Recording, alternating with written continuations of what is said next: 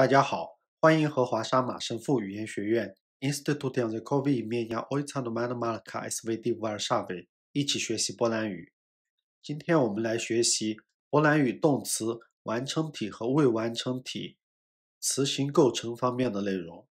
第一种构成方法前缀法，就是在未完成体前面加上前缀，让它变成完成体。比如看书、读书，czytać。它是未完成体。如果我们强调已经看完了，那么我们需要用完成体前面加上 pre，prečítať，变成完成体，看完了。比如我们写信，写 pisa ch，这是未完成体。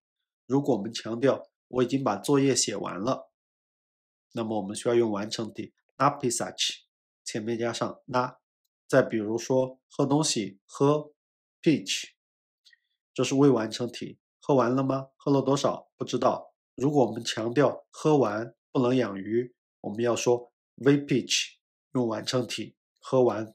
还有很多其他常用前缀，比如 po、s、u、z、za 等等前缀法。这是未完成体变成完成体最容易辨认、最方便的一种方法。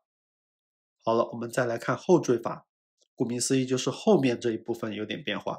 比如打喷嚏，我一直打喷嚏，我们用未完成体 kh。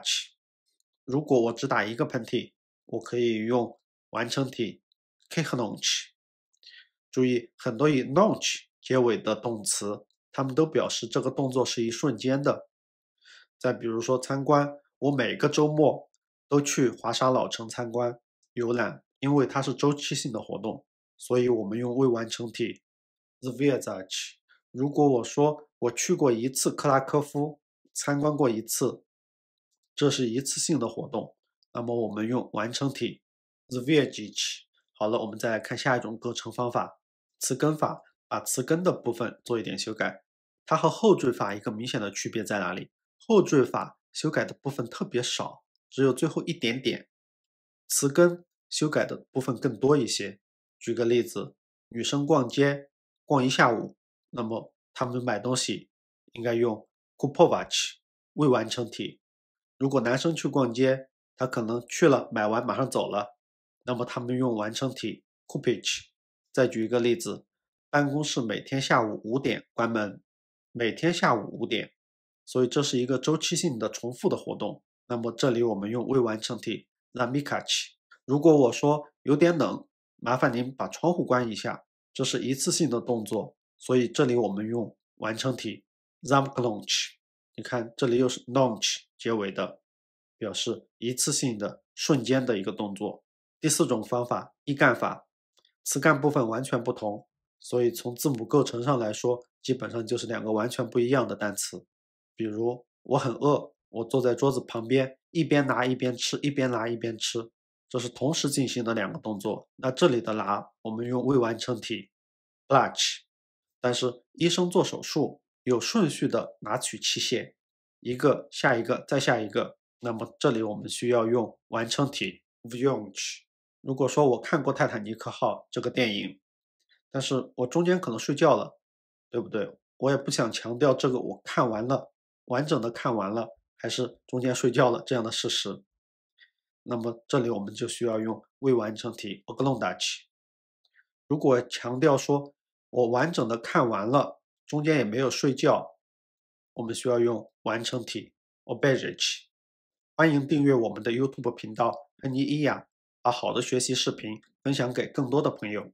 大多数波兰语动词都是完成体和未完成体搭配在一起，我们称之为 para aspektowa。